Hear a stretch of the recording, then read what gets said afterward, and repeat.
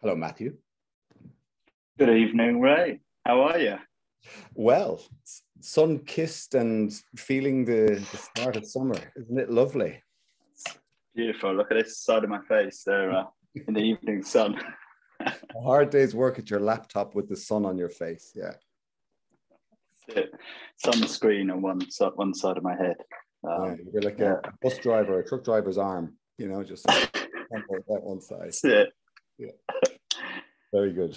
We have a, a, we've got a huge audience this evening, Matt, uh, and welcome to everyone. Already 600 steaming coming in thick and fast. Welcome everybody, and I, I, I almost don't need to say it, but you're already participating in the chat section down there below, just saying hello and letting us know where you are, whereabouts in the UK.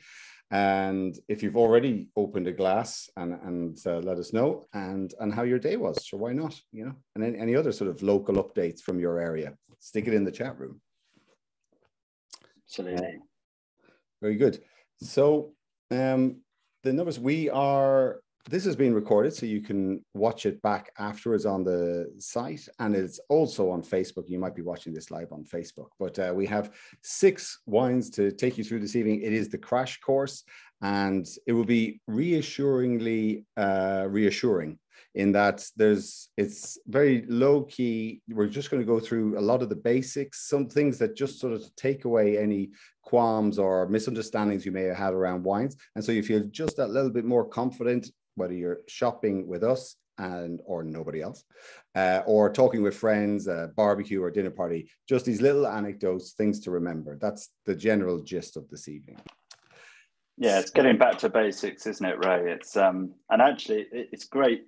Very excited to to be doing this again. We did something similar last year. It was just about our most popular session, I, I think. Um, so it's great to be doing it again. And the tasting pack sold out very very quickly, didn't they, for this session? So it's it's great to have everyone here.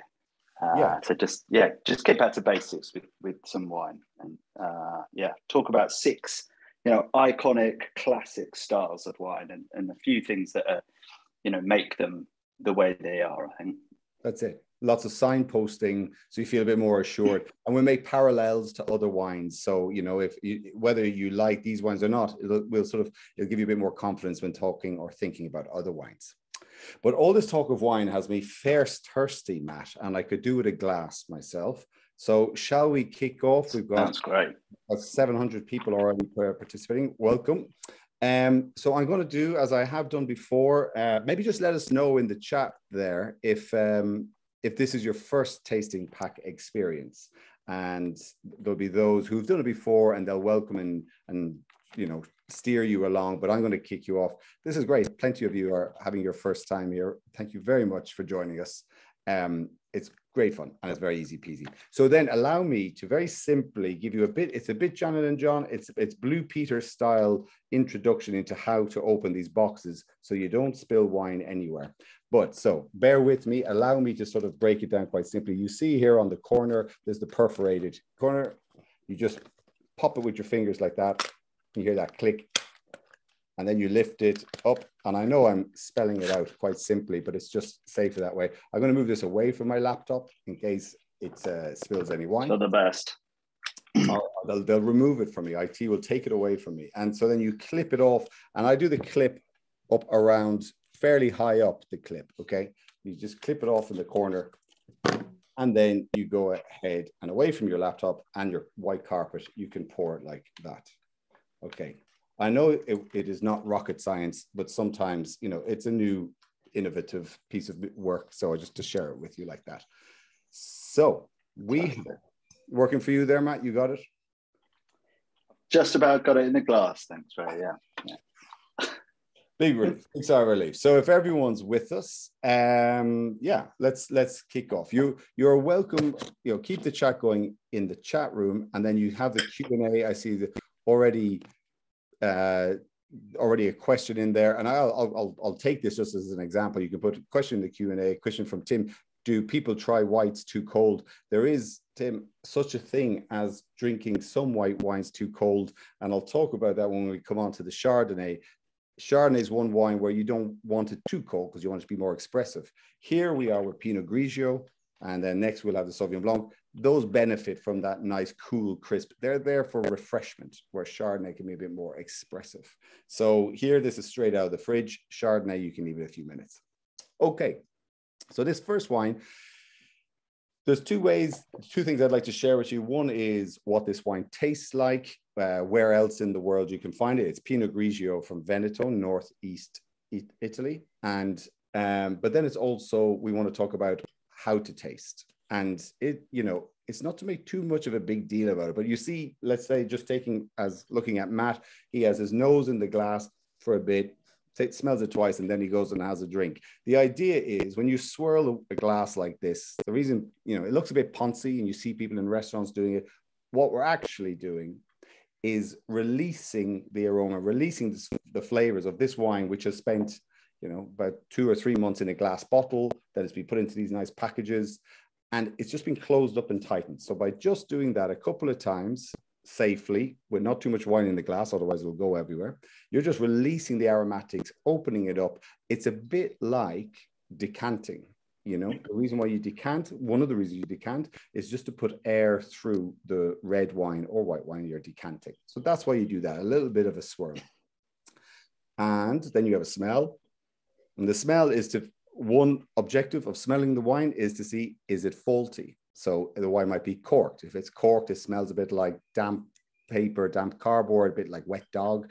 Basically, it's back to the old Neanderthal, you know, smell something, dead carcass, do not put in mouth if it doesn't smell good. That's how we sort of evolved. So it's not exactly the same motive. Does it smell like a dead carcass? Exactly. And I do not recommend you put it in your mouth. So you're just assessing it to go, okay, yeah. So that's is it faulty? And second is like, what can I smell? What what am I expecting to taste on the palate? That's why you smell it and then you taste it. So here you might get it's Pinot Grigio is not, it's more towards a neutral grape variety. It's not very expressive. We move on to the Sauvignon Blanc afterwards. You'll see it's popping with different fruit flavors. Here, it's not pronounced in fruit flavors, but what you can smell is maybe white pear and white peach, that kind of thing. Matt, feel free to heckle, jump in with any other suggestions, but that's it. Mm. Nice and simple, clean fruit like that. Stone fruit, definitely stone fruit, isn't it? Like nectarine, maybe some flowers, sort of aromas of white flowers, I guess. Yeah. It's quite easy, just juicy fruit, but quite delicate. Yeah, I think exactly. that's Pinot Grigio in a nutshell, isn't it?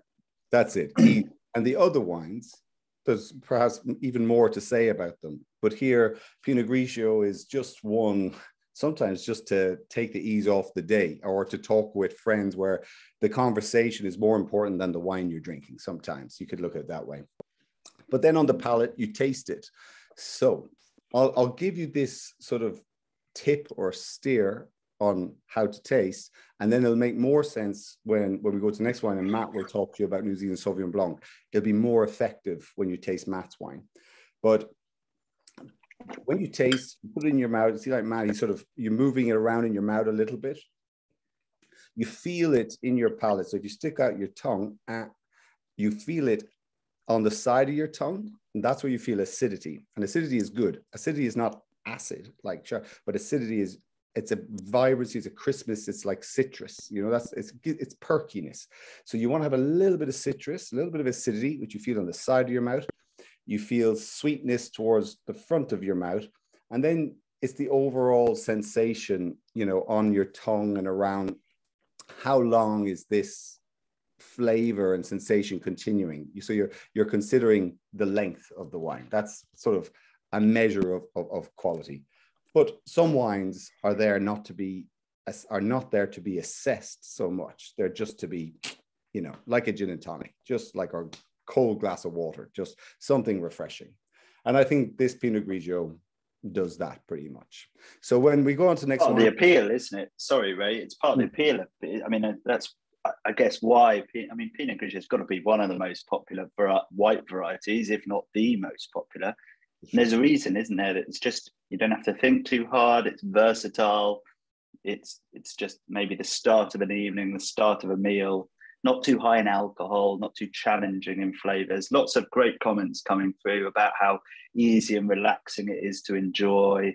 lots of some people sort of saying pink grapefruit. I like that mm. um, sort of character there for sure.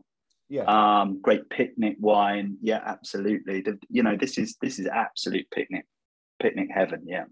Definitely. Yeah. No, well said. Nice descriptors. And then to echo those, or you know, what I, we talked about a bit of pear and white peach, um, flower notes on the nose. Does does it follow through onto the palate? I would say so. Yes a nice conference pear, you know, something you're just trying to. The reason why we talk about, uh, and you can talk about this as well on your on the New Zealand Sauvignon Blanc Matt, but just the reason why we we we look for descriptors is so that we can speak to someone else about what it tastes like because it's in our mouth and we're just trying to sort of translate what we're tasting to the next person. So that's why you see we communicate sometimes about blackberry fruit, raspberry, and you know, and here are pears. So that's the idea. Mm. The very the very basics of wine tasting is look at it, smell it, taste it, and don't worry about it. Don't think too much about it. Do I like it? Yes or no? I think so.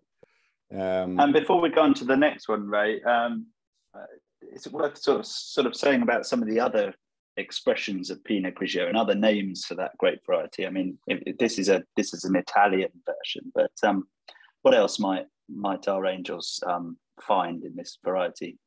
So yeah, exactly. Great. It's um, it's Pinot Gris, the grape as well, and uh, and then it's just how it expresses itself in different regions. And so you go, let's say, staying in Europe, up over the Dolomites, over the Alps, and we're up into France, and then you've got Alsace, and you have an Alsace Pinot Gris, typically broader, richer, uh, a fuller wine. In fact, really doesn't resonate, doesn't really reflect, you, you wouldn't mm. identify or put the two together, but it's just about the climate, the conditions where it grows. So Pinot Gris from Alsace is quite a distance away from Pinot Grigio from Italy. You go over to a Gerd Stepp in Germany, and he's doing Pinot Gris. He's a bit more in this profile. It's light and it's vibrant. So you got a crisp version. His is, um, yeah, uh, Grauburgunder, they call it, but Pinot Gris, he calls it. And then, of course, Angel's favorites down in New Zealand, and you've Rod Easthope's Pinot Gris, which is one of our best, you know, most loved wines. So it travels, it travels quite well. But I think Italy probably owned the crown in terms of widespread popularity. Mm. Um, and interesting to say, uh, just just before we finish with Pinot Grigio, it, the, the grape actually has color in the skin, doesn't it? And um, if you leave it in the on the vine a little bit longer to get some more sun, uh, it can go quite quite pink in color even before when you go and visit a Pinot Grigio vineyard or a Pinot Gris vineyard uh, around sort of harvest time. The, mm. the grapes can quite often look look mm. like red red grapes, and um, I'm sure lots of our our customers have had Pinot Grigio blush, but often that's that's that's genuinely coming that color is coming from the skins and not not from any addition of any red wine uh, in that in that variety at all.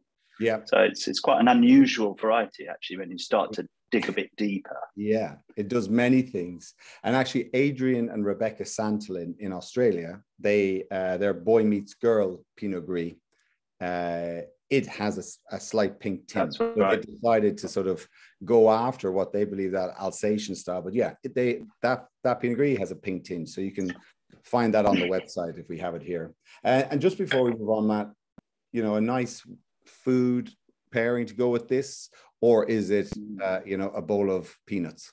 And you're sitting outside.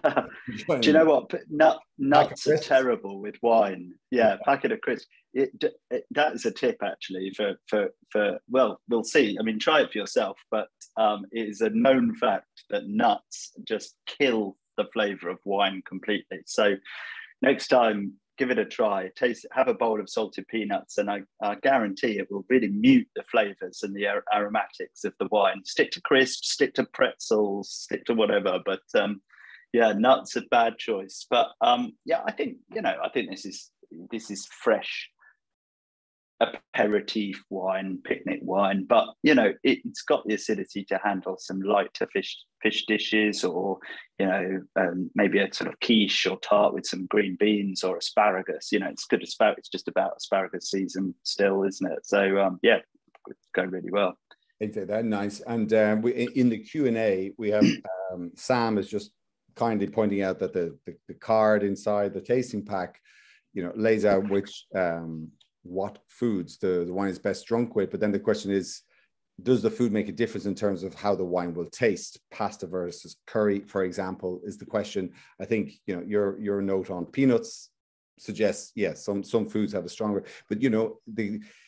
I guess uh, it's quite a broad. It's a good question, Sam, and it's a broad question because pasta has many sauces and facets. And is it creamy and is it spicy and is it red tomato based? Equally curry.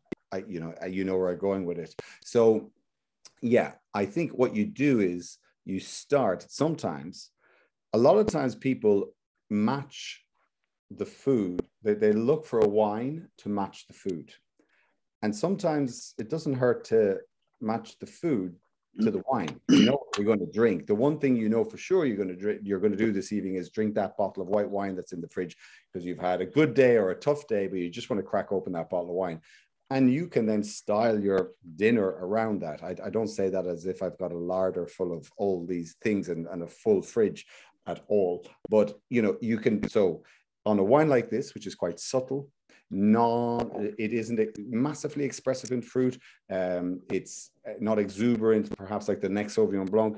You can just have a more subtle dish, you know, um, perhaps a creamy dish, but I, would go towards, you know, light, as Matt just said, the asparagus, char grilled asparagus, that, that kind of thing. So the intensity of the wine equals the intensity of the food, or also the intensity of the condiment, the, the gravy, the, the pigs in blankets when you get onto Christmas dinner kind of thinking. How strong is the flavor of the food?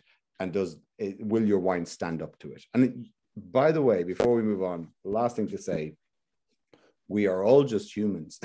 and some of us are in the wine business tasting wine for a living but we taste coffee in the morning all together some of us have one or two sugars and we have tea and we, you know. So just think about trust your own palate and cook your own way and drink your own way mm-hmm. and don't mm-hmm. worry about the rest.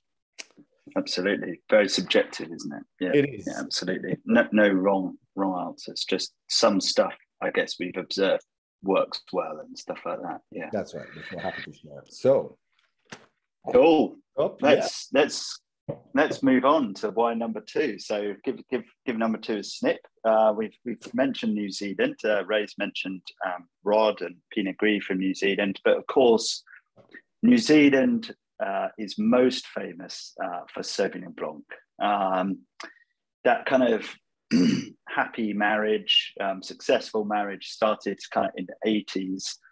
Um, up until that point, Sauvignon Blanc more famous in, in France, in parts of northern France, the Loire Valley, uh, places like that. But then the, the, the, the New Zealanders planted planted uh, Sauvignon in the early 80s and it just burst onto the scene, didn't it? And it was because of the intensity of fruit. No one had really ex- experience this level of fruit intensity, these these flavors. So this is a perfect kind of wine to to taste together tonight to to, to talk a bit more about the kind of flavors that you can get. Sauvignon's an interesting variety because it's it's all quite immediate with Sauvignon. Usually, there are other it, there are sort of anomalies to that. Clearly, you know, wine's such a big uh, com, you know complex world. But in general, Sauvignon wears its heart on its sleeve. It's it's it's all punch, um, and I think we were always talking about different fruit flavors tonight, and in general, if you're talking with your friends, um, because generally speaking, wine never tastes of wine. It never tastes of grapes. There are maybe muscat tastes of grapes, doesn't it? But um, but wine basically never tastes of grapes. So we always like to explain about what we what we can taste. And so just to refresh everyone's memory, the wine we've got hopefully all got in our glass now is uh, Rod Easthope's level 185 Sauvignon Blanc. Um, so New Zealand, now perhaps the most uh, famous region uh, in, in New Zealand. So New Zealand, so North Island and the South Island. Um, and a bit of sea in between. And, and most of the, the, the famous region for Sauvignon Blanc is Marlborough, and that's at the top of the South Island. So if you get yourself a map when you're um, later on, or I'm sure you know. But and now this wine is from Hawke's Bay, which is in the south of the North Island, so slightly different region. Um, but it's still extremely archetypal New Zealand in style. So, I mean, I, will ask you what you can taste in a second, Ray. But for me, this is extremely punchy in the glass. You don't need, you can chill this wine down quite cold. It's super punchy. You don't need to swirl it much. And you're getting loads of fruit flavors, but they tend to be more green flavors like um, green gage, uh, elderflower, um, gooseberry. Gooseberry is the classic, I guess. You should hopefully smell some gooseberry, some herb. I don't know. What, what else are you getting here, Ray? It's a bit riper as well, isn't it? It really is. It's, it's looking extremely well through these tasting packs and, you know, that lands then in our house through our door box. It's incredible technology altogether. But um, the comments what I'm seeing here is you you um, nettles as an aroma popped up mm-hmm. earlier, which was fantastic. You know, nails it, and then gooseberry is absolutely correct. And whether you you like or dislike gooseberry, you know, but that really is what what's coming through.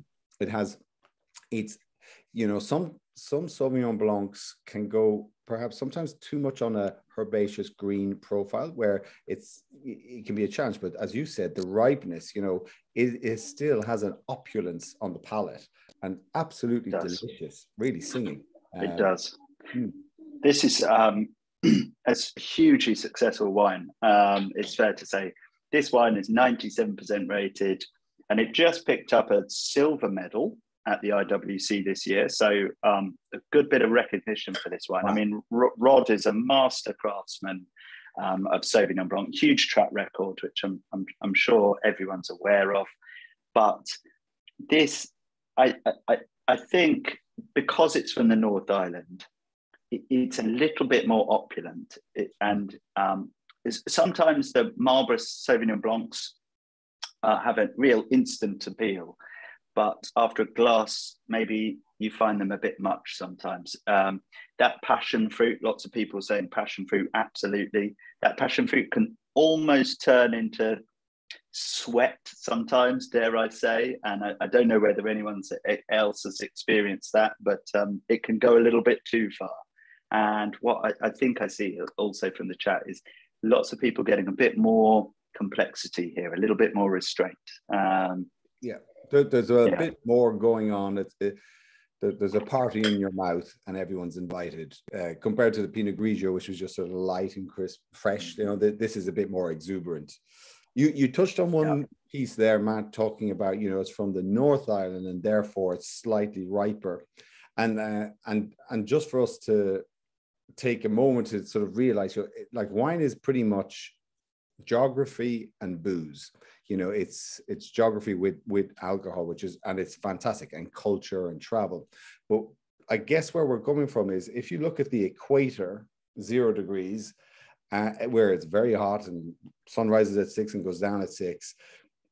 It's too hot to grow grapes there because of the, the excessive ripeness. It's perfect for other things. So you move around, you, you move away from the equator into the northern hemisphere and into the southern hemisphere, and it's typically 30, 50. Isn't that the, the, the appropriate mm. latitudes to, to grow grapes? So you're there yeah. looking at sort of North Africa, in the northern hemisphere, North Africa, Algeria, Sicily, and then you go upwards and now with climate change you're up around sort of holland or, or you know england let's say around yorkshire.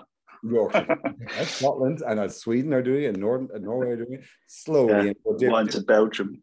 Yeah different varieties um, so and then equally in the southern hemisphere it starts around south africa and it goes across chile argentina and so on. But when you're coming into new zealand New Zealand goes right down, really pushes it down towards, you know, Central Otago is in the bottom of the South Island and it's, you know, super, super cold there in winters. So, oh, cold oh, desert. Yeah. yeah. So even just that movement from Marlborough, where you are at the top of the South Island, to go up a few degrees in latitude, that's, you know, that sort of explains you're getting closer to the equator, but you're still miles away and that that's the way to look at the world sometimes mm-hmm. too hot less hot less hot less hot just right for winemaking. France, Napa, Napa Valley, they're all along that sort of a certain latitude around the world.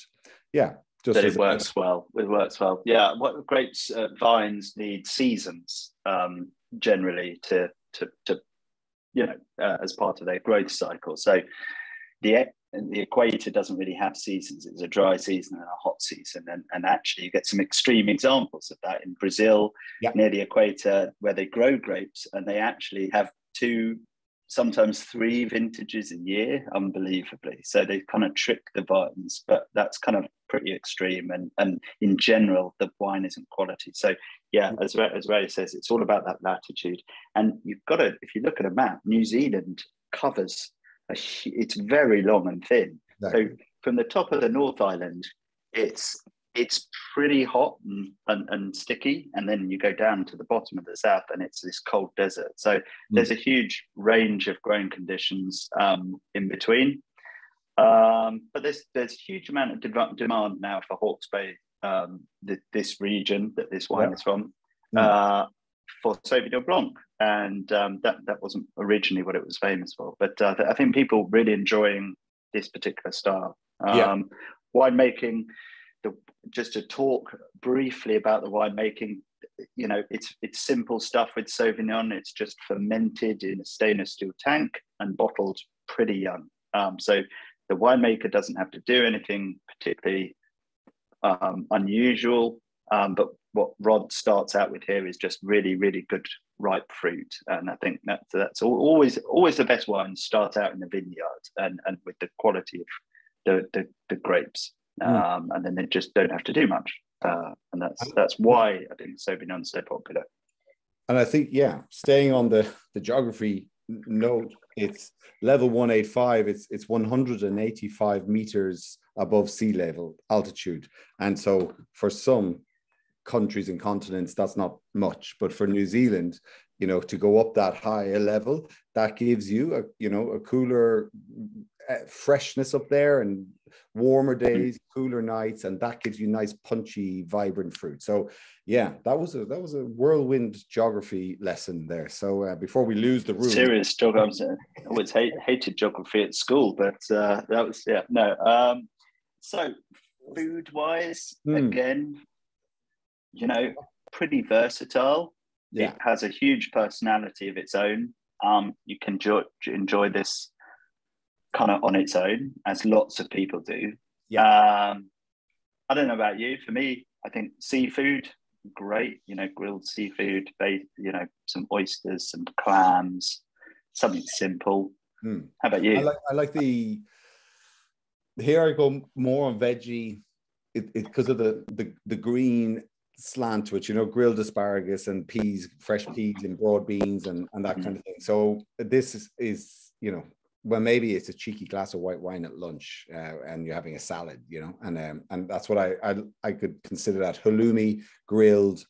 It's just sort of ni- nice to cut through. So that's it. And, and everyone, please, you're welcome to share with us your tasting yeah. suggestions. We have it in the tasting pack, of course. We have some food pairings, but you know, we're all, as Matt said earlier, it's subjective. We're all individual, uh, and we know what we like to cook, and we know what we do and don't want to eat. Um, I think we should move on to um, one number three. Let's do it. Yeah, and maybe let me see. Uh, shall we just pause quickly, actually, as I say that, Matt, to make sure we've answered everything in the Q and A. It's nice to keep things relatively light. I think covered the first question. Uh, is it true it's mm. better to taste in the morning? Yes. Um, when Matt and I travel, I think so. Yeah, you're just you have your coffee, you have your eggs, and then you know you drive for 45 minutes. You're in a winery and you're tasting, and everyone is just on the ball and everyone's sort of motivating your palate is alert and it, it's you you and, and also wine competitions matt tastes at uh, decanter world wine awards and i used to work at the international wine challenge and you know kicks off at nine thirty, and and away you go so mm. yeah, that's a good question i think I, I, don't know about you mate i i always find it better to taste when i'm hung uh, um, when i'm hungry so the, the, the absolute best spot is about an hour before lunch it just being hungry adds real focus to the tasting. Um, I, I, don't know what it is. Uh, for me, it's like if I, I, when I'm hungry and I taste, I you know I get distracted. Yeah, I get distracted. So I'm just like, okay, most of these Um, Anne was asking about what about honey roast cashew uh, which is just honey not cashew. You've just reminded me that I haven't had enough of them in my life, actually, Anne. So I got to get back to that. But uh, I'll say yes to that because I'm a big lover of it. Uh, Lou, Matt, what glasses are you using? Is that a Riedel wine wings? Very observant. That's Anne knows her, or Lou knows her glasses, but it isn't. Mm-hmm. But I'll, i have got a wine wings. But what are you? What are you drinking there, Matt? You can you can show your wine wings in a minute. This is um this is Gabriel Glass. Gabriel Gabriel Glass. Um, uh, very good glass. Um, other glass brands are available, um, but I, I, really like the shape of this. It's very versatile. It seems to show most styles of wine really well. It's manageable. It's not too big. It's um, but it, I tasted. I tested a lot of glasses actually for for uh, um, an article uh, for a magazine uh, with with a journalist, and we it was an interesting exercise. We tasted the same set of wines in about 20 different glasses. And for, for us, this, this came out um, top on most of, on mo- most of the wines.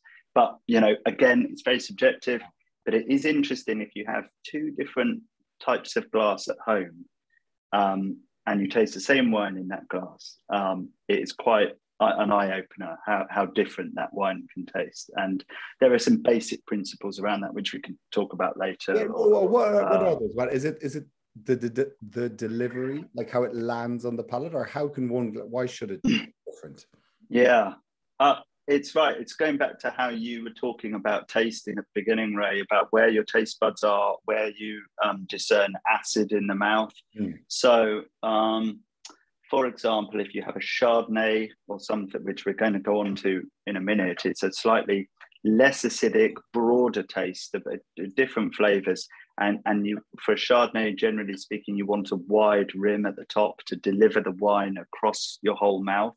Um, but if you want Sauvignon Blanc or Riesling, which has high acidity, you want to channel it down the middle so it doesn't overly accentuate the acidity. Mm-hmm. Um, that's a theory anyway and and from what i've tasted i don't know about you but from what i've tasted it's, it's quite compelling science actually uh, it is I've, I've done the same as you've tasted the same wine in different glasses and you, you, you think you've seen it all and then you do that and you go you know that is huh? it's a new level of fun uh, to, to taste i mean mm. there's proper geeky stuff but uh um yeah, no, it's it's it's worth doing. But then again, you know, the, the, the, this is a crash course. It's day one of wine, and uh, don't rush out to buy various glasses and just sort of it's a bit of crap. And no one has that luxury, do they? I mean, we don't all have it, and we don't. We don't have a cupboard full of different glasses for different wines, and that's that would be a ludicrous expectation. So I think the point is to find a glass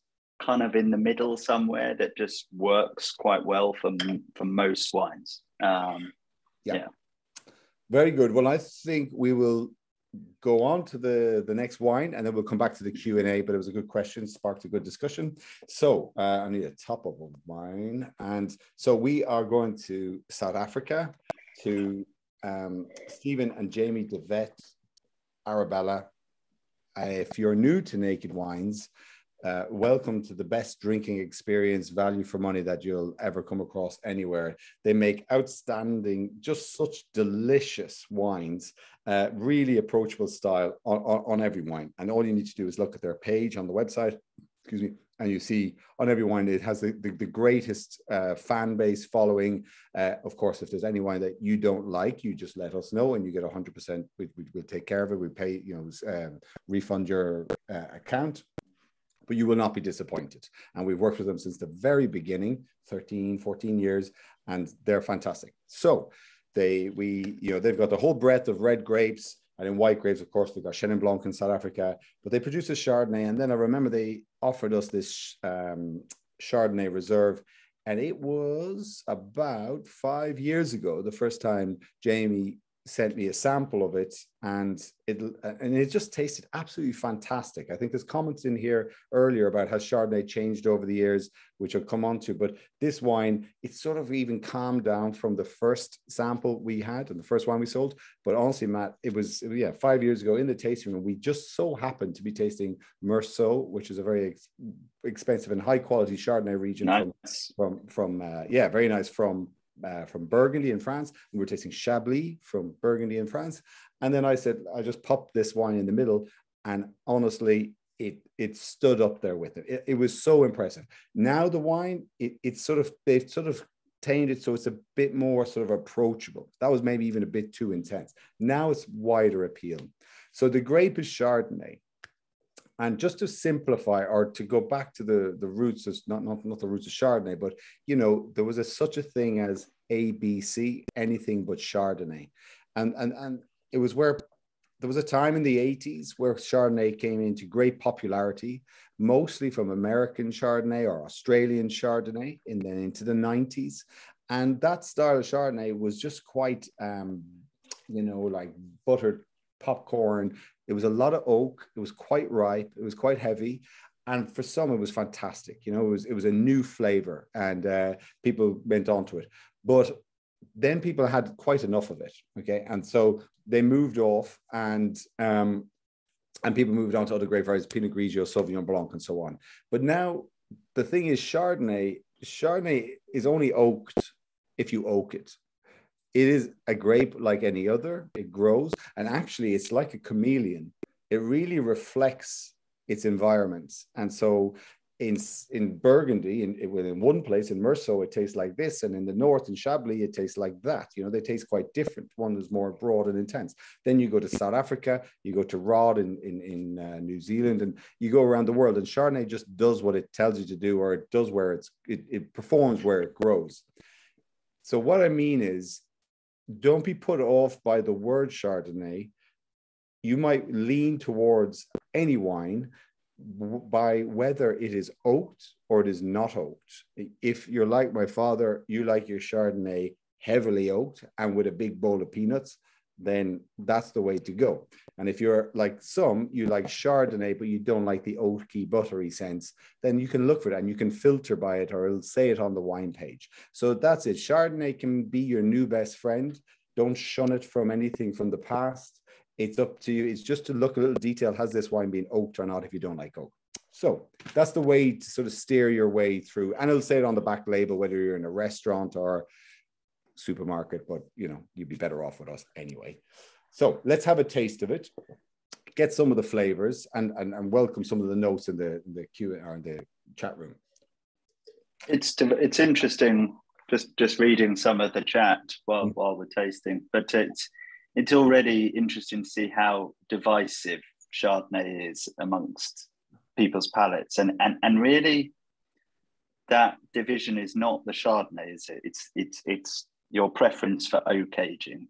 Um, yeah. Tell us a bit about. I mean, this is kind of. From, I don't know about for you. This kind of sits in the middle yeah, uh, for me, so. um, and I think that's actually the attraction of South Africa in general. Is it's that stepping stone between the old world and the new world. You know. Um, I think that's it, and I even in terms of how oaks this Chardonnay is, I, I'd say not that oak, but it you can definitely taste it. So what you're tasting with oak is a little bit well woody, but um, a little bit buttery as well, which is an oak. It's just what, something they that they do in that style. Um, but you move away from the purity of fruit, like we had in the New Zealand Sauvignon Blanc, which was vibrant gooseberry and uh, passion fruit and so on. And here you're more into a feeling so you, eh, you know you get a sort of a textural it's rounded. And there was a question i think it's in the q&a about does white wine seem to last why does white wine last longer in your palate? And why does that taste not go away? And why does it sit there? That's usually a sign of a good wine but it's it's this persistence that the acidity gives you know? And here you can taste it. I can still taste that that that character. Actually i think some of those honey glazed cashews would be just perfect with this wine right now. Actually, send them over. um, send them over. That's it. It's um, so it's that it, it splits the room. it gets oakier, perhaps maybe in Brass Tacks from um, Scott Peterson mm. from California. He's sort of dialed it up. He's done it to the extreme. And then on the other hand, you've got um, you have Johan Kruger in South Africa who does an unoaked Chardonnay. So, like the name of the wine explicitly says, none of that oak stuff you know so so that's why i think you guys will will be it'll be easy for you to navigate your way if you like it or you don't it'll say it on the website well yeah. so it's an interesting thing with with with, with you you referring back to the 80s and australia in particular burst onto the scene with these big oaky chardonnays and people enjoyed them for a while and then they got sick of them mm. and the pendulum swung yeah. And people, and then everyone was making these super lean style okay. of Chardonnay that basically was a bit too lean and all acid. And and and now the pendulum swung back, and you've got wines like um, amazingly successful wines like Brass Tacks, which is Scott Peterson going, now I'm going to make a you know full throttle Chardonnay again, and you know customers absolutely loving it, and it's it's just you know it's the, the, the rich uh, tapestry of, of, of, particularly Chardonnay, but wine. But um, yeah, yeah, it's, it's interesting how those tastes just keep going backwards and forwards. And yeah, yeah, you know then, where the real interest is in is in the middle somewhere, where the balance is. Um, I think generally, you know, you're right, exactly, and. As always, each to their own. It's subjective, but yeah, the balance is usually a, a safer ground. Um, so, what about rose? What would you drink it with, Ray? What would you drink? I, drink it with friends. I drink it with friends and a good podcast and uh, and, and other things like that and a piano. it's very com- it's very comforting, isn't it? Yeah. Quite lu- luxurious tasting, I think. You know, um, it is. Yeah. It's indulgent. So I guess here, related to food, where whether you like this wine or not, think of this wine. There's other wines in a similar profile, if you look on the website for Ramon do Casar, it's uh, from Ribeiro, Northwest Spain, and it's Godello Treixadura. So it is, you know, quite tricky to remember grape names, but it's a Spanish white wine, begins with the word Ramon or A M O N. So you can search for that, or maybe Kira might stick it in the chat room. That's a wine which has equal body, but you don't really detect the oak. So wine, white wines with body you're going into a more textural feel rather than the previous Sauvignon Blanc, which is more crispy, racy. Here you're into the more, like you said, luxurious, rounded, warming. And there you go, if you're having fish, you might have a bit of a cream sauce with the fish. You, are starting to sort of enrich the dish, more butter, you know eh, that that's what you're hap- that's what you're doing. Sort of you're increasing the mouth the roundness the yeah the, the the decadence of your dish sort of thing. But again you might not be as far into steak or or heavy meats. You're on white meats or white cheese like halloumi again uh, paneer eh, in the in the vegetarian spectrum and korma so creamy dish. That's that's where you are on uh, these white wines with less acidity and more body. That's what you go I'm hungry. Yeah. Yeah. Okay. Awesome. So we do rose Well, yeah, let's move on. See in the chat. So some people have moved on already without us. Uh, so that's um we still talking about halloumi. we're just waxing on about paneer cheese. um, uh, let's get into rosé, the one and only rosé of the night. Um, rosé hopefully everyone's a fan of rose. It'd be interesting to know how many people are into rose and how people how many people just really never drink the stuff. Um, but it's increasingly important uh, and increasingly important, not just seasonal wine, but all the way through the year. Yeah. Um, so here we've got a rosé from the south of France, uh, from virgil Joly so from the sort of Languedoc region. And this is kind of like the heartland of, of, of rosé. Just up the coast, you've got Provence, which is pro- arguably the most famous uh, region um, for this kind of pale pink rosé. Um, but really, there's if you go a little bit out of Provence, uh, where Virgil is uh, growing the grapes here, you get amazing value for money um, that, that you won't get elsewhere. Um, so rosé. Uh, does everyone know how how rosé is made uh, like this? Um, Well, uh, so for rosé like this, you would use red varieties. Uh, and here Virgil's using uh, Grenache, which is a classic variety of that region, and a bit of Cinsault. Um, and that's a, a thin-skinned red red variety. So they both varieties don't give a lot of color, um, but um, so they're quite delicate to start with. Because um, with with with the majority of red grapes, um, the, the juice is actually clear, it's white, um, and, and all of the color comes from the skin.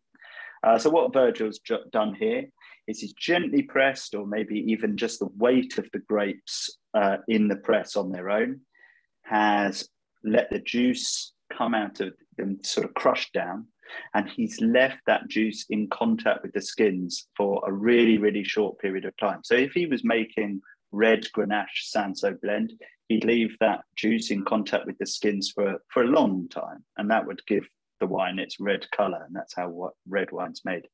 With rosé, you're making wine a bit like a, a red wine, but you're you're you're leaving the juice in contact with the skins for a very short period of time, maybe even just six hours, mm. eight hours, 12 hours, or something like that to give this beautiful pale pink color. Um, so that's generally how still rosé is made. In, in sparkling and champagne, um, actually in rosé, they, they make rosé by blending red wine and white wine, but not generally in still, still wine like this. It's made from um, letting the color come out the skins, excuse me. Um, so as I said, it's a blend of Grenache Cinsault. Um, this is from an absolute heartland um, of, of rosé country, and I think Virgil's done a phenomenal job here. Mm. It's bursting with fruit. I mean, absolutely bursting with fruit. I don't know about how expressive yours is, but this is there's monsters fruit, but it's not it's not too sweet or um, doesn't taste like sweets. Um, it's got lovely, delicate strawberry and slight creamy strawberry fruit. Yeah. But then on the palate, when you take it, when you're when you're when you're having a sip, uh, it's it's it's dry, and uh, and I guess the dryness allows you to go back for a second glass, and it also matches with food a lot better. Um, it's uh, no, you're right. I mean, there was a comment there that said pre-barbecue glugger, uh, and you know, I think that says quite a bit, but it is it's the fact that it's a pale, dry rosé, and it is really expressive, lovely, delicate red currant fruit. So it's just the right amount of like, it, it almost feels like a white wine, but it has mm. that dotting of of, of uh, red currant grapes or flavors in there. We, you know, like many wines, well, like all wines on the website, we we benchmark, we taste the wines we have that we fund from our winemakers against other wines that are in the market. And that's why you go onto any wine page and it says the angel price, and above it, it says the market price. And so we taste, we buy these wines from other retailers and we taste them blind. By blind, I mean we put them in a black bag, you can't see what it is, and they're poured out, and then we taste, don't know what we're tasting. We know the category we're tasting, rose from France. And then you taste, and we sort of rank them. We go, are they on par? And this wine, Virgil's, always cleans the floor. And it cleans the floor with Brad and Angelina. Brangelina, alas, no longer together. So it is actually Brad and Angelina. And uh, is it Mirabelle? They're, they're, they're Miraval. Miraval. Sorry. Yeah. yeah. there you go. That's yeah. how, how much I follow it. But um, yeah, we pulled that at wine in and this wine is t- oh, pushing 20 quid, isn't it? Yeah, it is. It's something like 1899, 1799, and it's sort of like bulbous bottle. And the juice inside here, not knowing what we're tasting, honestly, it's such a fantastic wine. So Virgil, uh, people, there are a lot of fans for Virgil on here, whether they drink his rosé or not, but he's knocked it out of the park with this. And I think that's just where that's where the authenticity and the the uh, you know the origin of the naked what Naked Wines does for Angels versus the marketing. And I'm a big fan of Brad Pitt, big fan of Angelina Jolie, but really Virgil's got this one. You know, he takes the Oscar. He's an expert. He is an expert on winemaking. Yeah. Yeah. And and as I was saying, you know, it's it's a slightly different part of France, just offering a bit more value, a bit more flexibility in terms of the kind of grapes that you can use in this. Um, I think increasingly people, yeah, absolutely, everyone's saying, you know, pre-barbecue quaffer actually carry it on through the barbecue because it goes great with all of the salads and the roasted veg. And mm. actually, you know, if it's a hot day, you kind of don't want to get into red wine, maybe. Yeah. Um, but rosé comes also comes into its own with aromatic, mildly spiced food. So if you're in a sort of, you know, uh, just mild curries, I'm not talking about vindaloos or anything like that, where there's precious few wines that can can handle that kind of level of spice. But when you're in the more aromatics, um, go for a rosé. Just that little bit of sweetness to it. Sometimes a bit of residual sugar, but often just because of the ripe fruit. And that just that just goes with the mildly spiced um, dishes. Bit of coconut, bit of Thai basil, that kind of thing. Um, this, this, this rosé would really fit the bill. And we and we need a we need a wine for sushi because well sushi is easily my favorite food in the world. You and I uh, we we sort of uh, yeah. death by sushi on Monday night. We were in Germany. Ate our own body weight in sushi, didn't we? we're at a wine fair in, in Dusseldorf in Germany, and uh, and we were with the guys from Naked USA, and you know we we tried to we tried to beat each other on how much sushi we could eat but sushi won the fight and uh, and it was an incredible spread of of sushi but uh, what i mean to say is some of these wines, and I, and I think this one would sit just nicely with that. You're you know you're you're making you know nice references to the Indian spices, but um you know but you know with the wasabi and the ginger, it's delicious. Um, where where is the crowd, Matt? Have they moved on to wine five, or uh, is it just you and I? Oh, here? they've they've all they've all gone home. it's gone. Ah, here we go. So we've got a poll popped up. Just great to know um, I've seen loads of good good comments on the rosé, but just fundamentally, it's really good to have a read of uh, of you guys and and who who are the who's rosé yay and no way rosé. It'd be great to cast your vote so you can click. You should see the poll popped up on your screen, and you should be able to click, and we'll um we'll see the results in a in, in a in a minute or two.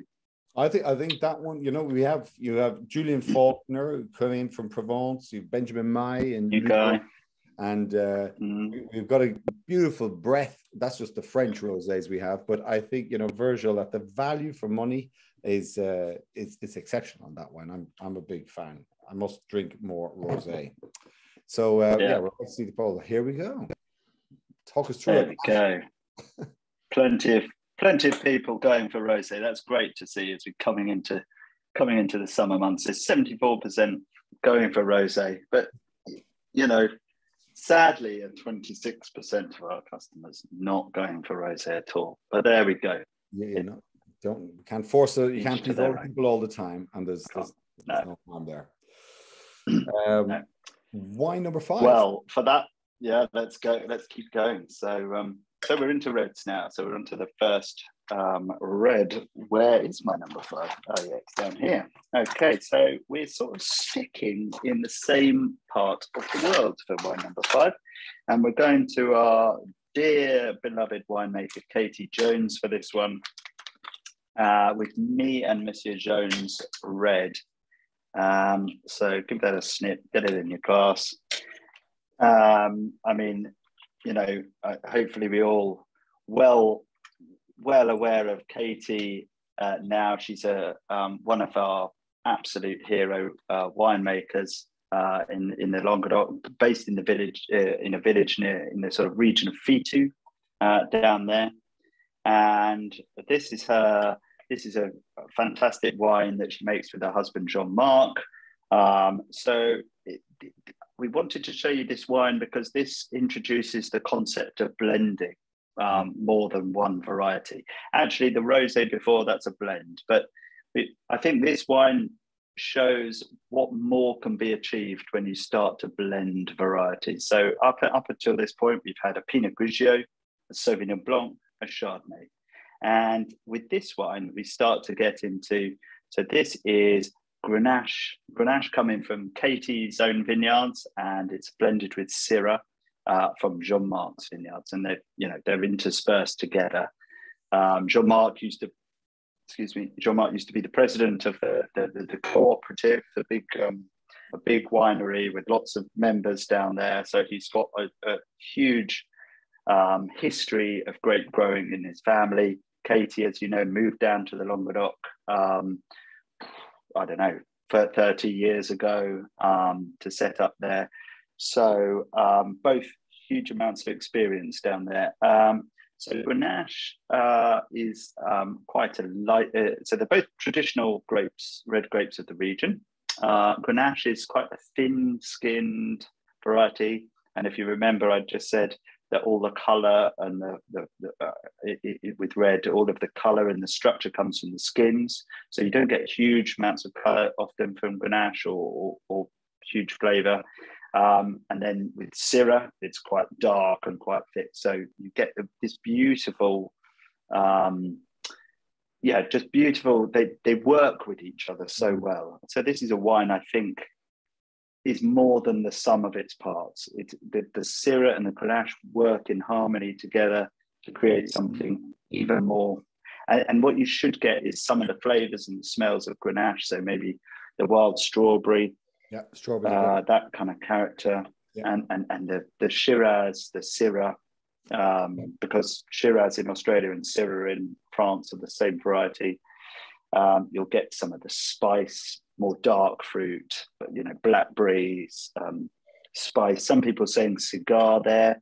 Interesting, there's no oak uh, in this wine, but that kind of maybe those slightly woody characters are coming from the um, some of the some of the stalks and the skins and the pips. Um, I think that the other thing as we move mm. into uh, red wine now is another element in your in your mouth, and and I just wanted I'm, I'm sure you guys may be somewhat familiar, but just to spell it out again, in red wines, as Matt was saying with the rosé, you put the red skin grape, which has you take it from any grapes you buy at your market or whatever. You squeeze your red grapes, it's just white juice that comes out. And as Matt says, you you literally dye the white juice by leaving the skin in contact with it for six hours. Then, if you want to make a red wine, you leave it in contact for much longer. But when doing so, and when extracting, getting some of that color out, because this is a deep, this is made from pretty much the same grapes almost than Virgil's yeah. rosé, you know, but it but it That's looks right. like that.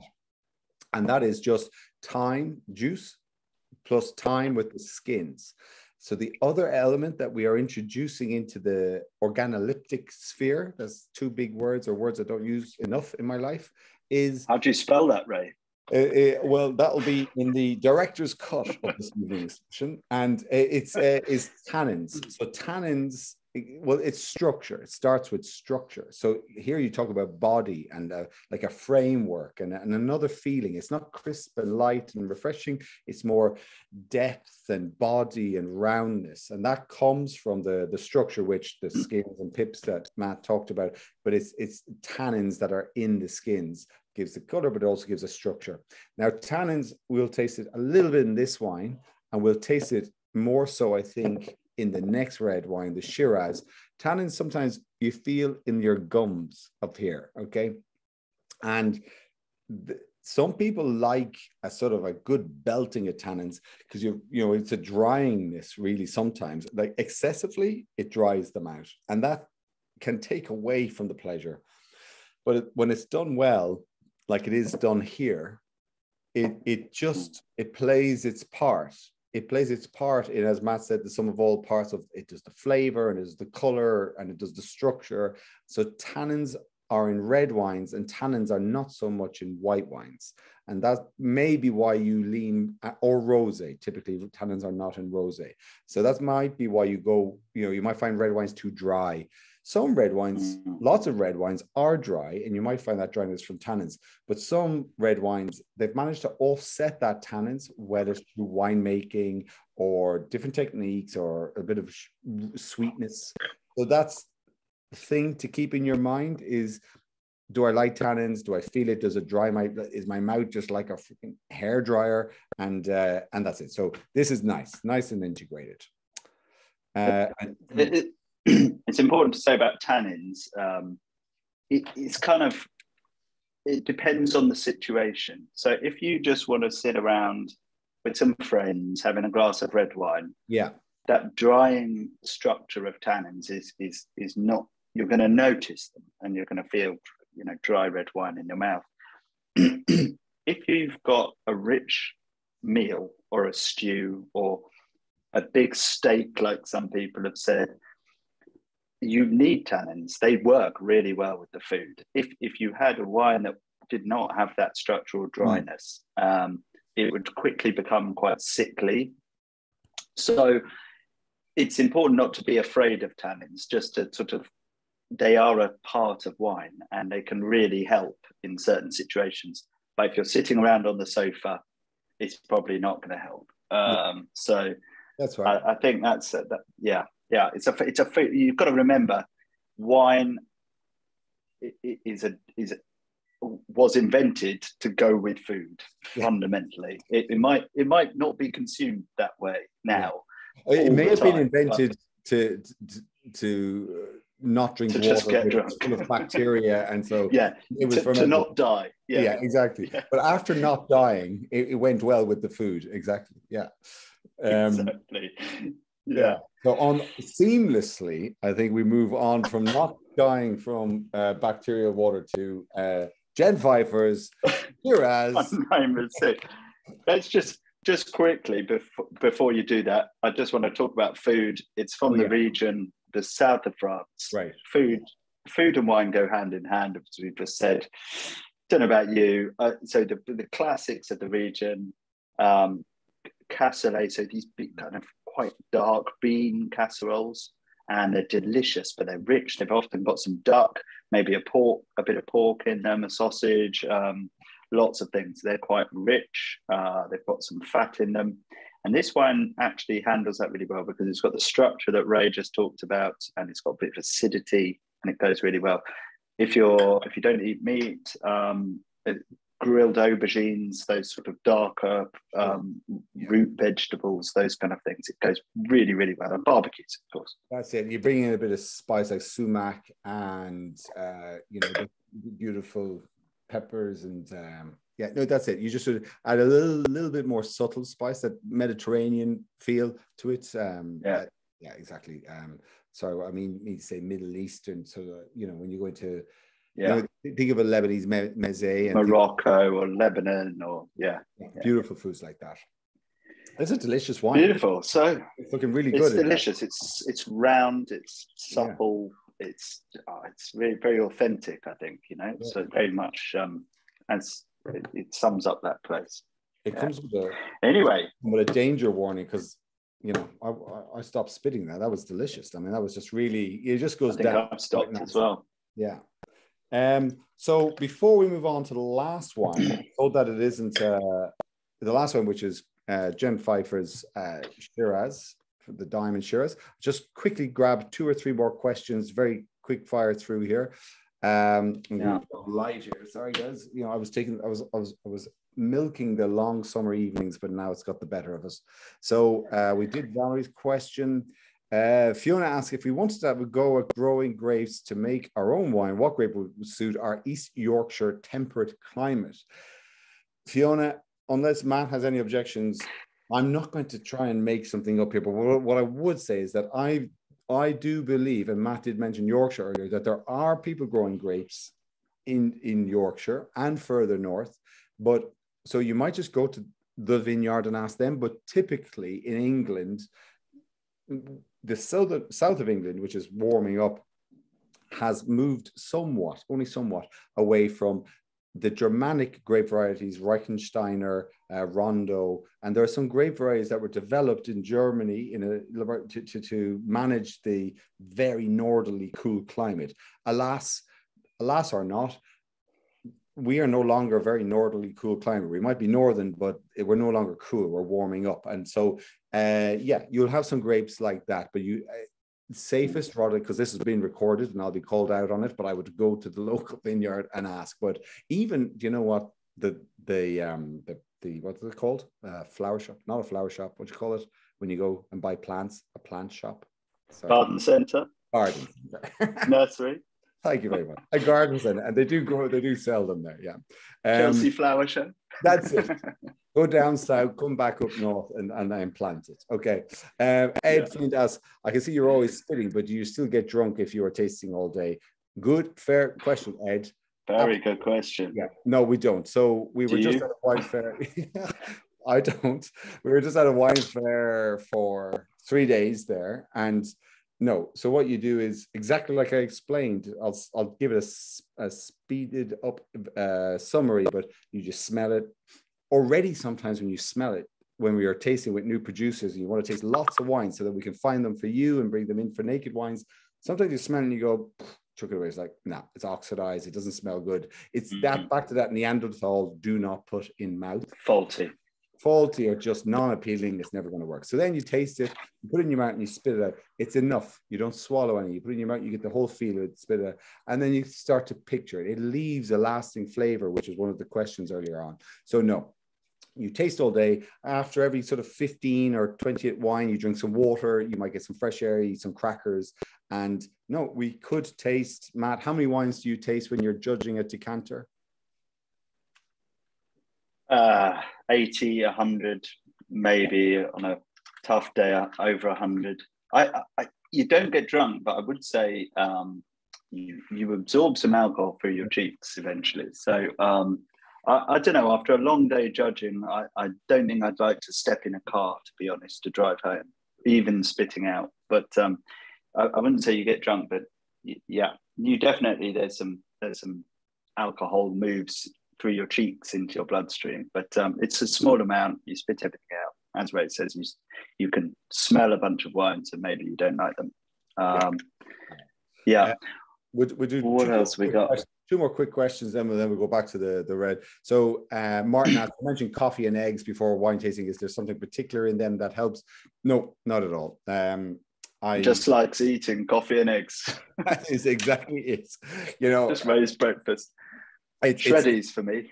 Yeah, yeah. Well, that's it. You know, no, no. It's just what whatever you consider enough to get you going in the day, and uh, and and that's it. That's all. So you just you know line the stomach and be alert, and whichever way makes you a run. A run is a very very good way, or whatever sort of a workout or whatever you like. It's a very good way to get you going before tasting. You're on fire. You might even be a little bit too annoying for the people around you because you're a bit sort of uh, righteous and so on. Um, sweaty.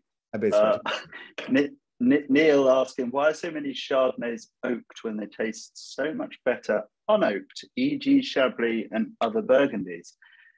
Good question. I think it's subjective. Um, and I think when we were talking about whether you think they taste better unoaked, um, uh, but I think, well, as we were saying earlier, um, Chardonnay is this amazing chameleon variety that really um, speaks of where it's grown and whether it's been oaked. And, and there are a variety of amounts of oak. You can toast the barrels, you can not toast the barrels, you can use American oak, you can use um, French oak, you can use Slavonian oak, you can, you can use not oak. You could use chestnut. You could use acacia. I mean, the, the, the whole world of oak is you could go down a real rabbit hole uh, with that.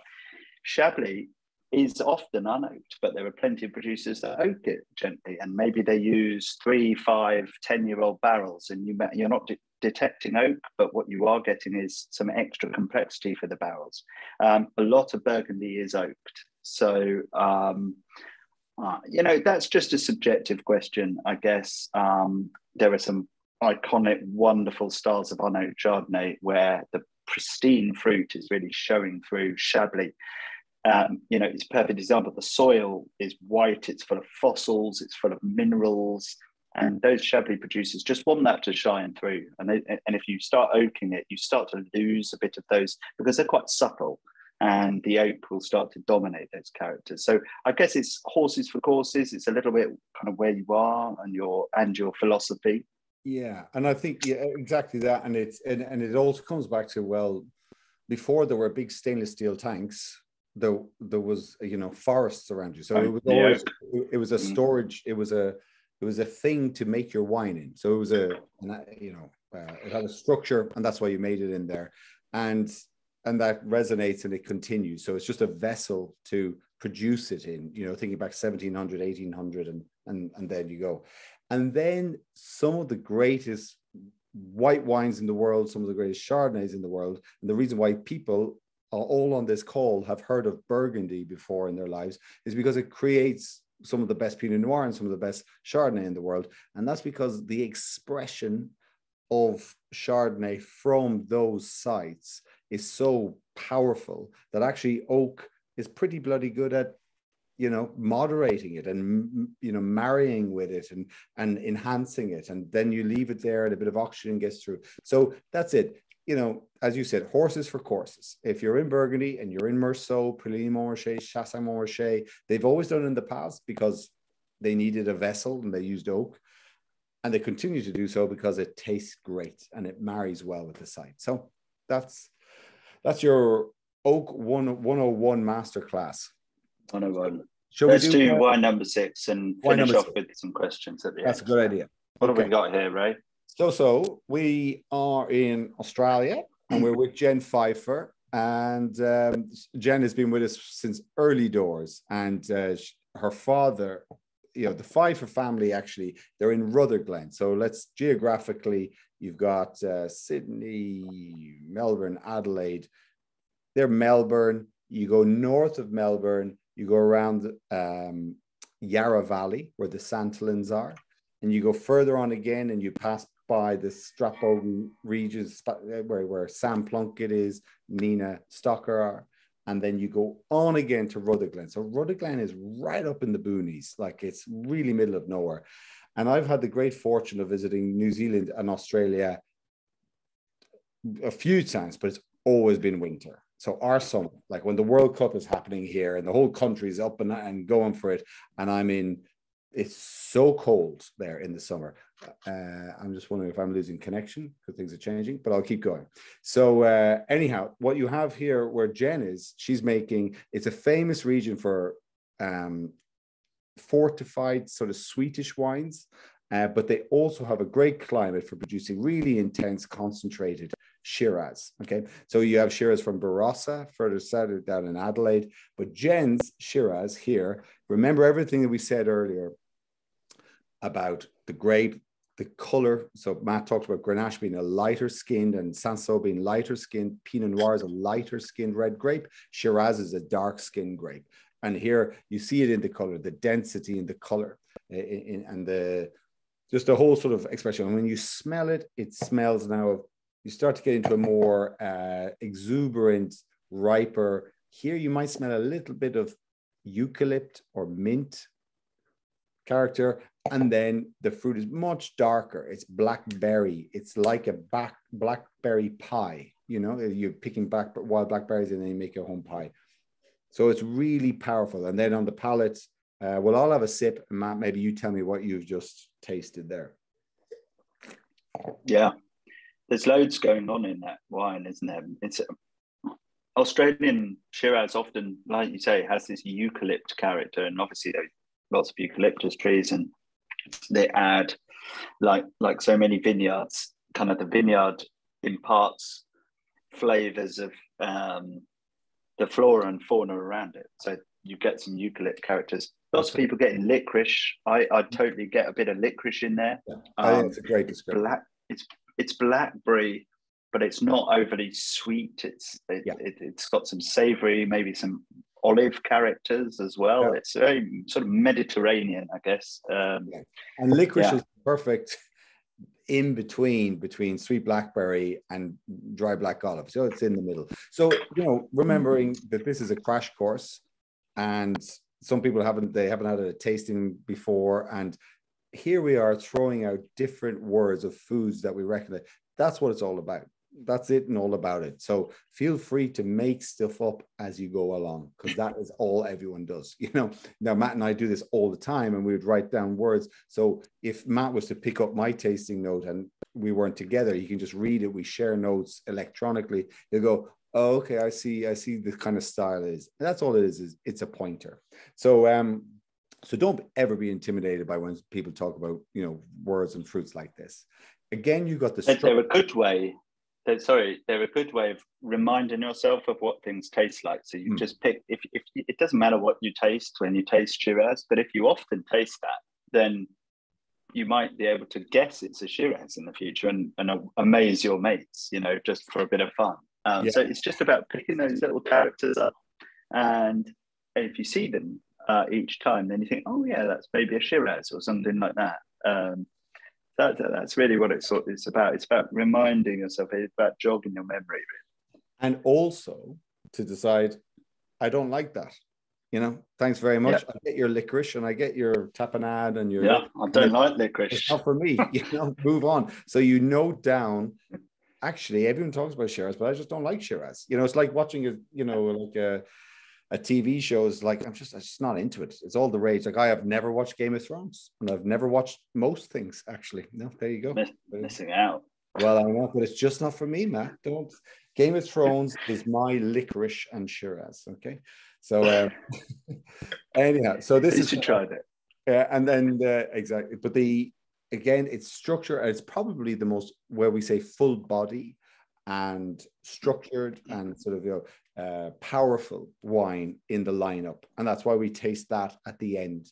Because if we tasted that at the beginning, it would be too dominant on, on the other reds or even or certainly on the whites. That's the order. That Pinot Grigio would have had a tough time, wouldn't it, after this um, Shiraz? yeah, it, it Pinot Grigio.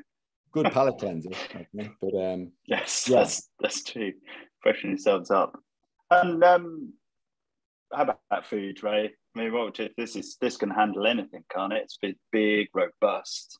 Yeah, well, I I do think there is time and space in the world for occasionally, on special occasions, well-bred beef, if that's the case, you know. But it does, it would stand up to the, you know, a, a nice cut of beef. And here, what you're talking about is the the depth of flavor, but also the tannins, and they go with the, you know, you slice into a piece of beef the tannins sort of marry with the, the, the, structure. It sort of breaks it all down and it's malleable and, you know, it just goes well with bigger, richer, deeper meats like that. Um, on the on the vegetarian spectrum, I guess you just sort of you're dialing up slightly the intensity and the concentration of yeah. flavor, whether it's by spice or grill, excessive, you know, charring, and then you, this has a bit of char character to it, you know, and and that's where that's what you're just trying to always marry. Yeah. And is that coming from the that's coming from the oak, right? They'll they'll so a bit of oak in this wine. And I think when we were doing our quick oak 101 um, earlier, we talked a little bit about there's a lot of things you can do to actually affect the taste of the oak in the wine um, without getting too complicated. But you know, it's the same in in in, in whiskey or, or in some spirits. But you have this oak, this wood, and um, you know, you know, you have the the open barrel that's the sort of this shape, and if you wanted a more a, slightly richer oaky character, a more charred oak, a more toasted oak character, the, the keepers will literally light a fire and place the oak barrel over the fire, and the the, the fire doesn't set, you know, it doesn't touch the the oak, but it burns the inside, and you get this black coating. And what that does is that adds more of those darker, spicier, um, yeah, slightly charred characters to the yeah. to the wine. And with certain varieties, the more robust, the more extracted, the darker ones Shiraz, it, it can really uh, complement the, the fruit quite well. Yeah, I think that's not too much. You can't go too overboard. No, and Jen's identified that that's what this wine needs. Um, I think what we'll do is just do a quick vote you know, if people had a, a preference, a favorite wine of the evening, we might just throw wine of the night. Yeah, wine of the night. That was quick. Wow. Um, so nice. it, I can type that out. I, I, I, think what we've all agreed that, that something should have pop uh, should appear on your screen now, and you just you can pick which of the wines you preferred the most, and which we I think something we established right at the beginning and throughout is all of this is subjective. In fact, you and I, Matt, we might say what which one we preferred while we're waiting, but just remember that it doesn't matter what anyone else likes. Do what you want in life. So, what was your favorite, Matt? You think? Well, I think I can vote, can't I? Keep it, keep it to oh, myself. No, um, I'm only joking. Um, oh, that's a tough one. I liked all of them a lot. I think oh, dare I sit on the fence a little bit and say I loved um, Virgil's rosé just for its explosion of fruit. Um, it's just instant appeal. And then I love Katie and Jean Marc's um, red just for its complexity, softness, and just drinkability. Yeah. How about you? I would say exactly the same. and no deviation. Yeah. Honestly, just for the absolute joy, satisfaction, easy, and actually consistency as well. But uh, and then Katie's yeah. was just just what I needed in the evening. It just had that sort of warmth. Yeah. So yeah, all all wines are created equal. Some are created more equal than others. but, um, but that, those two were great. They were singing tonight. So the scores Ooh. and the doors. Let us have it, Matt. Talk us through it. What is it? Oh, well, um, coming out coming out on top was the last one of the night, Jen Pfeiffer's Shiraz. So everyone, I think, appreciating all the fruit and the concentration in that. That's a great wine. It's you know really perky. Um, ooh, close second. Uh, so second place, Rod Sauvignon Blanc. So again, lots of flavors packed on. You know. I think I think what I'm seeing here is the crowd. Customers love that intensity of flavor in, in these wines. Um, yeah, then Virgil's rosé coming out of third, which is good, and uh, Katie's fourth, and neck and neck at the at the back are Arabella, Chard, and Sacchetto Pinot Grigio. So there we go. Jen, congratulations, Jen, for, for for winning the vote. Well, it's a pretty, you know, when you consider six quite different wines was 28% the largest number, you know? So yeah, yeah, yeah, yeah, very different ones. Pretty, pretty balanced, yeah. you know? And so the, when they say you can't please all the people all the time, you can please most of the people most of the time, you know? Yeah. So yeah, no, there wasn't a standout there, was there? I think um, just like to sort of say that we've kind of picked, we, we wanted to pick six um, kind of classic styles of wine. And then through the you know through the naked website you know we're great at recommending stuff you might like to try so this is a great starting point if you're new to naked in particular these are wines if you like if you've just decided what you like in this lineup of six go onto the website and and, and then pick those and see what else we recommend because that is going to really allow you to explore wine um, but stick into what you might might like and and, and mm. not kind of like offering you stuff that you're not you're not going to like too, too much. So yeah. Um, that's yeah, the power of. Yeah, and when you do that, and then you taste them and you rate, the question is simply, would you buy it again? Yes or no. That's it. Yes, or you don't have to be too cryptic or anything about it. Then we'll actually tell you, do not buy this wine.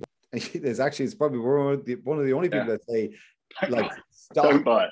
don't buy it because it's oaky and you don't like oaky or it's too dark Shiraz and you don't like. So it'll, you know, that's that's quite a useful algorithm that sort of says, don't buy this, you might like that. Yeah, it's very useful.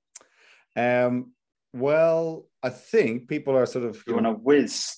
Do you want to whiz through a couple I'd more happily, questions? Happily do a couple of questions for sure. Yeah, yeah. What do you got there? Okay, what have I got here? Um, let's just whiz through. Do you guys do any orange wines, Ray? Do we do any orange wines? Well, we we kind of sort of do. So um Yanis Troupis in Arcadia in Greece does his Mosh Filero is the name of the grape. Anyway, it's orange to sort of pinky, and it's it's absolutely delicious. It should be landing. It usually lands around July, so keep an eye out for that. So it's Greek, and it's it's skin contact. And then I was in Georgia in January, February or something, and uh, yes, we, we are bringing in an orange wine from Georgia. It'll go into the Fine Wine Club first, and then thereafter it'll go on. Next question, Matt. Excellent. Um,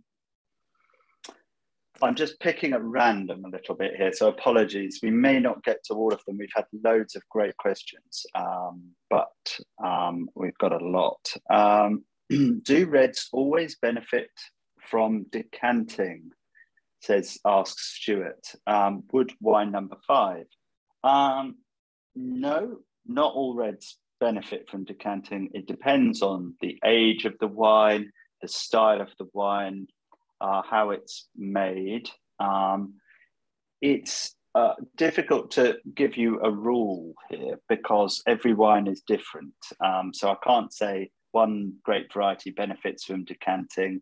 Um, Syrah, Shiraz often does benefit from decanting a little bit. Um, but it, it, very much depends on how the person makes the wine. So I would say, first and foremost, try the wine straight out of the bottle. That's right. If you think if you think there's just something missing, it's not it's not expressive enough. You're you're you're searching for stuff. Then it could well be that the wine needs a bit of air, and you might you don't have to have a fancy decanter as well. I often, you know, if it's middle of the week and I just think the wine needs a bit of air. I won't bother getting the decanter out. I'll literally pour it into a jug and I'll pour it straight back into the bottle. So that's like double decanting done. And that's going to get plenty of air to it. And I don't have to wash my uh, fancy decanter up at the end of the uh, end of the meal. So it, it, there's no real rule of thumb. Um, it, it, kind of depends on lots of things. So just try the wine. I would say um, lots of people think, oh, it's a really expensive bottle. It needs decanting often people decant too much and actually wine you know, particularly old wines they they don't benefit from decanting they tend to fall apart but we're not talking about super old wines necessarily so um yeah that's, that's it on, on decanting spot on spot on yeah um why is it that some red wines leave a red mark around your mouth or on your teeth ray you got red teeth tonight Mm, I do. Well, I actually went to the hygienist earlier today for the first time. She goes, she goes, no, maybe we put you in for six months. And I was like, yeah. She goes, and I was like, well, I haven't been in like five years, so whatever you say. And it, and she goes, yeah, a bit of staining. So it is the polyphenols. It is the color, the pigments that is in the the grape. A bit like uh, acacia berry. Um, I, I, I haven't said the word in so long.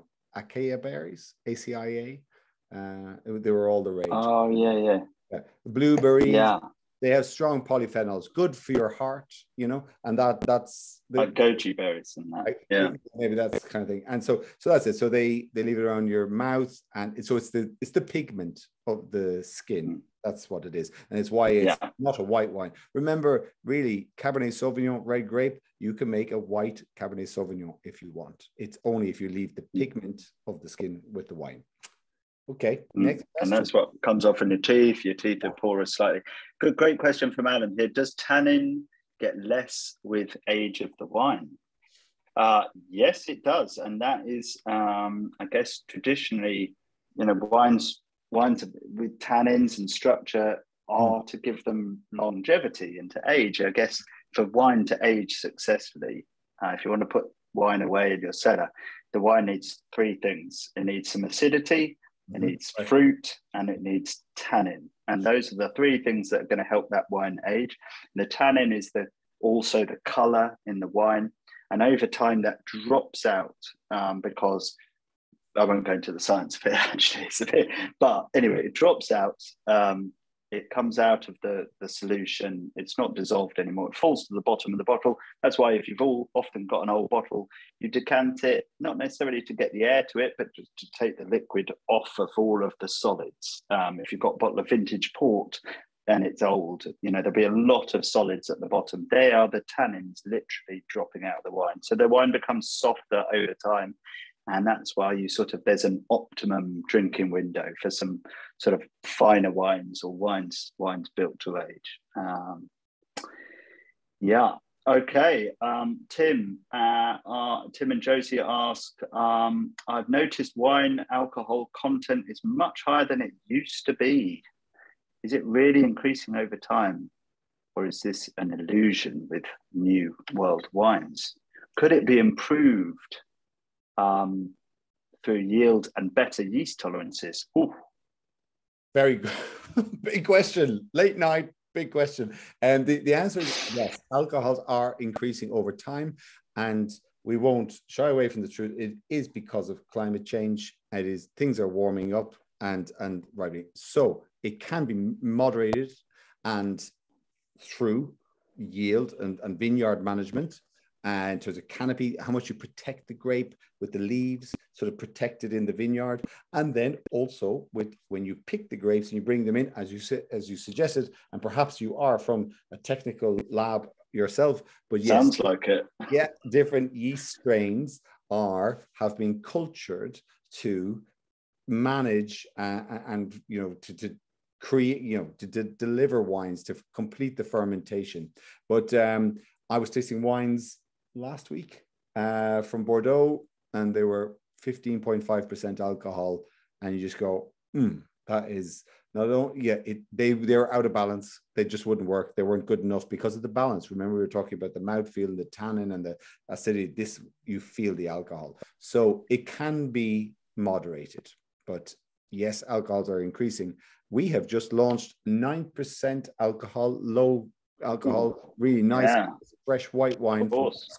It's called Radiente. Maybe Kira, you could share a link to that in the in the chat. But it's so delicious, perfect for these warm evenings. Nine percent, and then don't get carried away because it's so gluggable. What else have you got there, Matt? I'm just having a look. Um, um,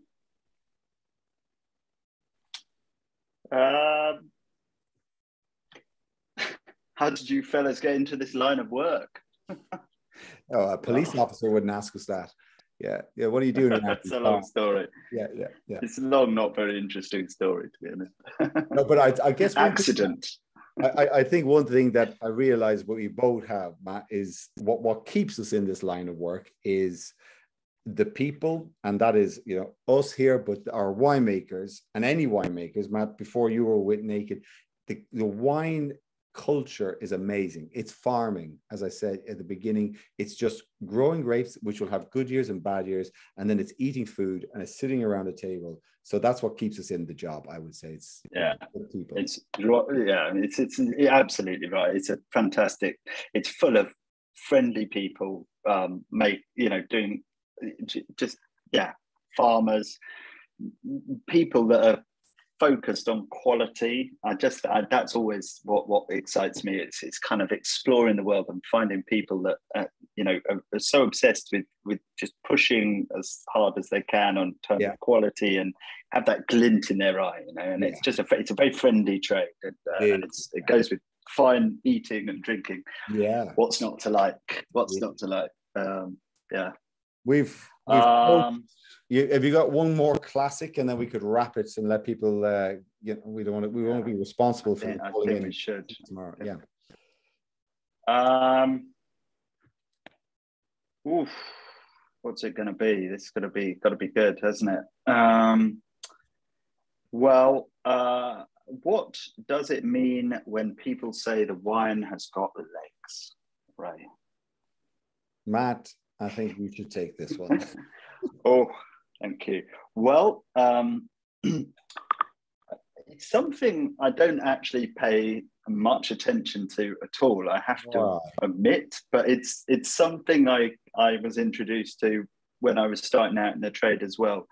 Um, the the legs are what what what what you're referring to is when you swirl the wine round and you look at the wine in the glass and and, and you sort of hold it back vertical and the wine sort of creeps back down the glass and it, it does that quite slowly. And and, and basically that's re- a bit related to the alcohol level in the wine but it's it's actually the glycerol level which is it's related to the alcohol. But it's basically how viscous the wine is. So it's not water it's got lots of other things in it. Um, so you'd say it's very crudely, it's thicker than water. Um, so the, the liquid holds onto the glass and it drips down a bit, a bit, uh, a bit slower. People seem to have got become a bit hung up on legs, right. I think, in, in, yeah. in, wine, and and it doesn't actually mean a lot, but basically it gives you a good idea of the alcohol content. So with with the, with the Jen Pfeiffer's Shiraz, you know, you probably you might notice some legs on there because um, you know it's I, I, don't know what the alcohol content is, but I'm guessing it's 14 and a half or something like that, and it's um and you know that that that would give it a good clue if you drank something like from Gascony or the, the, the Pinot Grigio, which was probably 11 and a half, 12%. It's, it's, you're not going to see the legs. Um, but really, wine is it's, it's about how well well made the wine is. So even if it's a high alcohol, it's it, if it's well made, you, you're not going to detect it. It's not going to feel out of balance, and you just kind of go with it. Really. Yeah. I, Anything to add? No, you said it. I think hopefully you might have taken, all of you may have taken greater anecdotes, more useful information from this evening, which you can watch back on for bits and pieces, than the legs on the glass piece, because it is a thing that is commented on a lot. But the more important stuff is what does it smell like? What does it taste like? What are the tannins? How fresh is it? You know that's that's the stuff you can actually is is um, sensory and and, and I, yeah I, I also don't pay too much attention to the legs no. no well there you go uh, wonderful yeah cool well guys it, it, it's so many of you joined you've had fun yeah, right at the beginning. So many stayed on right till this point. We're, we're very grateful. Uh, the wines did that they carried us through the evening, but then they all look great, honestly. And um, uh, so we have another one, Matt. I think you are hosting another tasting pack session. When's that, Matt?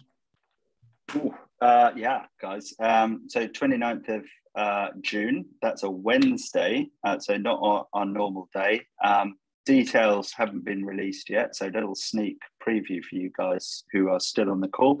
Um, I will be joined um, by one of my favorite friends, Katie Jones. So we tasted one of her wines uh, tonight, um, but I'm thrilled that she's going to join me for an in-depth um, tasting of, of six of her favorite wines, including some newbies and some classics. Um, so uh, it should be should be really great. Oh yeah, beautiful.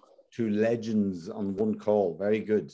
Um, Great, great. Um, good. Okay. Well, uh, thank you for joining. And uh, so we'll have a few more of these tasting packs sessions going forward. They'll be advertised on on the website. You'll probably get an email as well. That one hasn't yet been advertised, so don't you don't need to go looking for it yet. It'll probably pop up in a couple of weeks.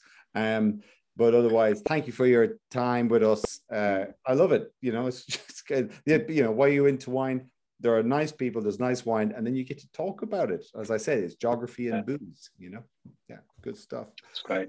It's great. Have a good evening. Matt, see you see you in uh, yeah. See you in Carcassonne tomorrow. oh wait. Hope you've had a good evening, everyone. Good evening. Good night. Bye bye, everyone. Bye bye.